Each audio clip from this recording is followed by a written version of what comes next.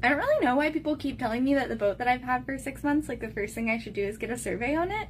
I've been on boats before, and this one floats, so it's obviously fine. And like when I go to the beach here, the waves are usually not that bad, so I think I'll be okay.